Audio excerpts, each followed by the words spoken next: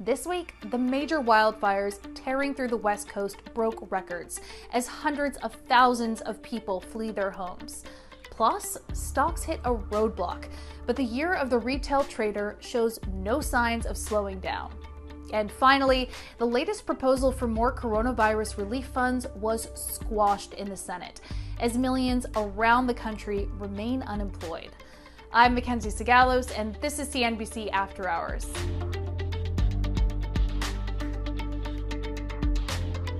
Before we get started, we want to take a moment and acknowledge the 19th anniversary of the September 11th attacks in 2001, when nearly 3,000 people lost their lives. Wall Street paid their respects as well, observing moments of silence on the trading floors of both the New York Stock Exchange and the NASDAQ earlier this morning. All right, now let's look at how the stock market finished the week. All three major indices are lower, with the NASDAQ posting the biggest loss more than 4%. This short trading week was the worst for the index since March, as the big tech stocks that were so hot all spring and summer are now cooling off. Another big market trend this spring and summer retail traders. Now, when we say retail traders, what we mean are individual people like you or your parents, the investors who aren't the pros or the billionaire family offices or massive institutional pension plans. Well, the little guys are trading big time in 2020, and one retail brokerage is beating out all the competition tenfold. CNBC's Kate Rooney dug into those numbers.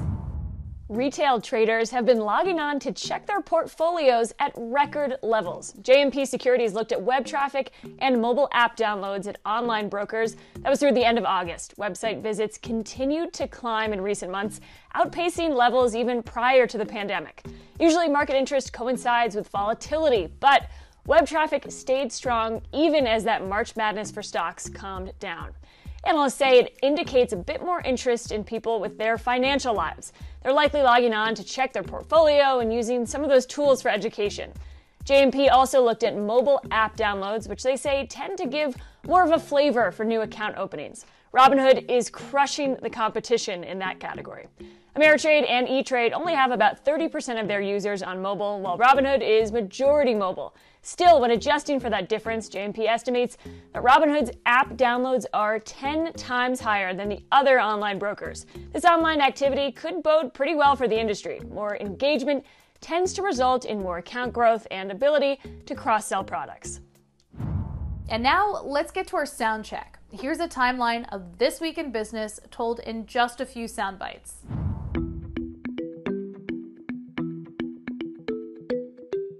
In addition to all the technology that we're bringing in the value from both an Ultium and a Hydrotec technology perspective, there also then is uh, we'll be doing the manufacturing and validation and engineering. So all of that comes together. And again, it's for the Badger, but it's also for the fuel, sec- fuel cell technology for the Nikola uh, products in the uh, class seven and eight truck business. So this is a huge growth opportunity for us. GM is a perfect partner to be able to build the Badger. The truck's coming out. Um, Nikola's building out hydrogen networks I mean, we just couldn't be more happy with this partnership. It's it, that's why people are rewarding us. It's it's a long term play. It's the ability to get in early, and that's what Nikola is. It's a, it's a great relationship with GM.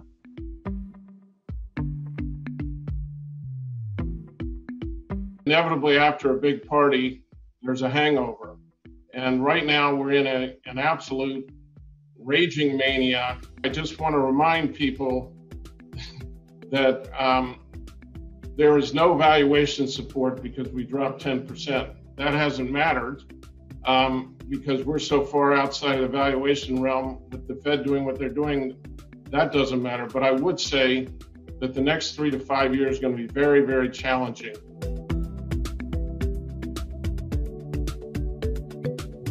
Most companies have a hard time executing on something as radical as, you know, let's go direct to consumer over the internet. Um, and they've done a remarkable job growing to over 60 million in less than 12 months. You know and it took us like 12 or 13 years to get there. Um, so uh, they're you know very focused obviously on uh, direct to consumer. Um, but so are we. And i think uh, you know we love the challenge and we want to bring the challenge to them. We want to get better than disney in family entertainment and that's going to take five or 10 years. You know, they are very, very good at it.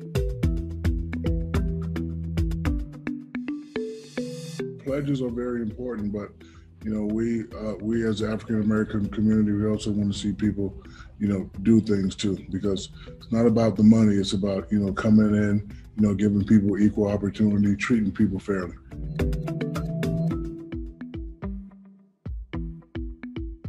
Every time we have a woman break in, we have the same conversation. We had this conversation about Mary Barra at GM, about Ginny Rometty uh, at IBM, about Indra Nooyi years ago at PepsiCo. Every time we say, okay, she's crashed through that glass ceiling, we finally have made it. And yet those numbers are stubbornly, like barely, barely moving.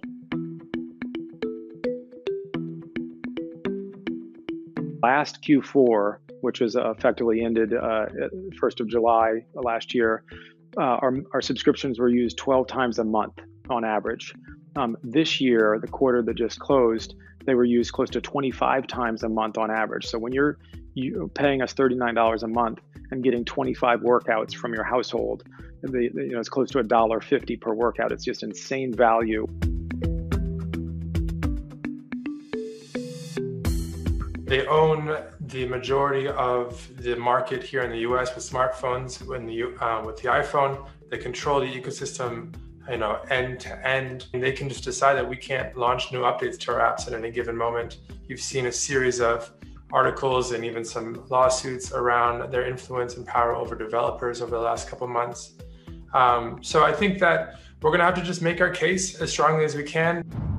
The dozens of major wildfires burning through the West Coast have already claimed 20 lives and scorched millions of acres of land. 3 million in California alone, which is the most ever from a fire in that state's history.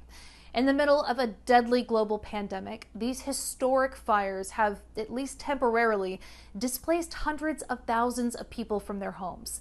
64,000 Californians are under evacuation orders. So are 500,000 people in Oregon. That's more than 12% of the entire state population.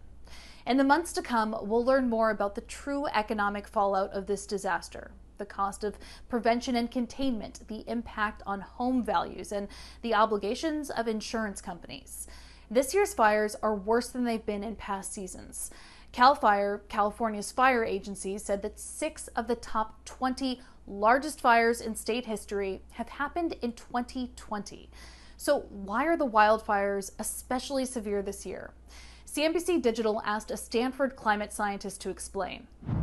So, what we're experiencing this year in California and, and, now tragically in Oregon and Washington as well is really an unprecedented um, wildfire year in terms of the total area that's burned. We have the largest wildfire in history, the, the, the third largest wildfire, the fourth largest wildfire, uh, five of the top 10 uh, six of the top 20 um, just in, in, in, California's recorded history uh, over the last century or so. So this is this is really uh, a major wildfire season. This year we've had many large wildfires from the very unusual lightning siege that occurred in August.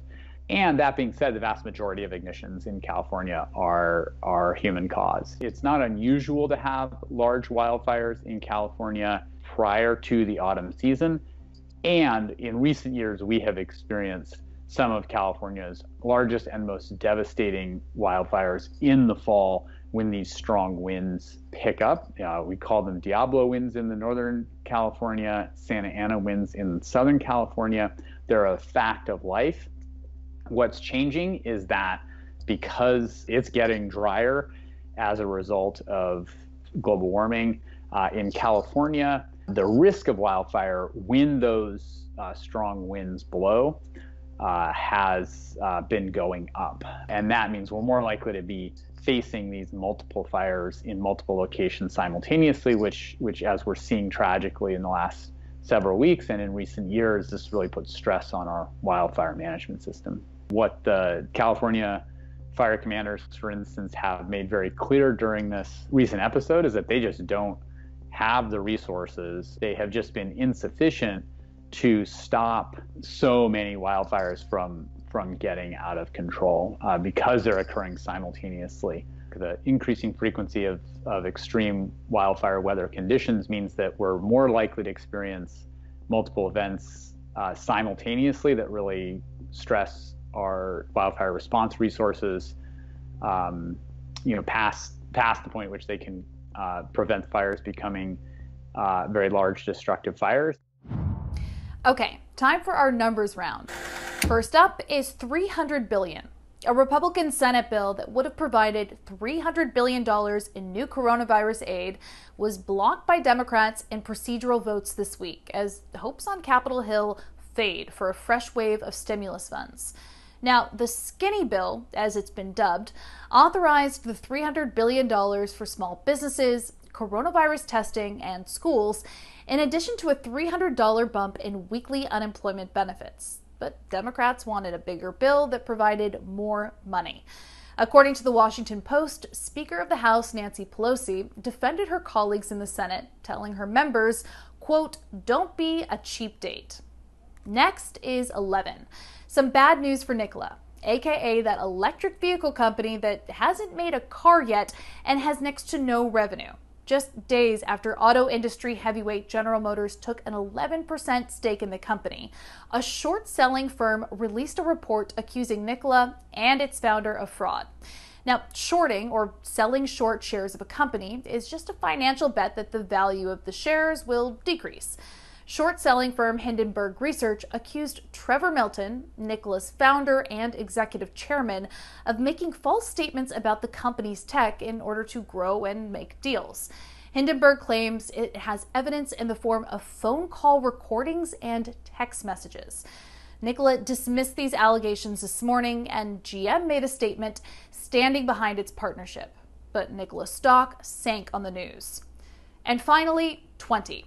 According to page six, the Kardashians are looking to sign a big streaming deal with the likes of Netflix, Apple, or Amazon following their split with the E network after 20 seasons of keeping up with the Kardashians. Now, deals with streaming companies can be super lucrative. For example, two years ago, producer Ryan Murphy signed one with Netflix worth a reported $300 million. That's it for After Hours, but before we go, here's one thing to watch next week. TikTok is supposed to announce a sale to a US company by next Tuesday to avoid a ban by the government, and Microsoft and Oracle are the interested buyers. But with the deadline quickly approaching, Reuters reported today that Chinese leaders in Beijing would rather TikTok shut down in the US entirely than see a forced sale go through. Now, remember, TikTok is owned by Chinese tech firm ByteDance. So there's a lot going on here, and President Trump isn't budging. I'm not extending deadlines now. It's September 15th.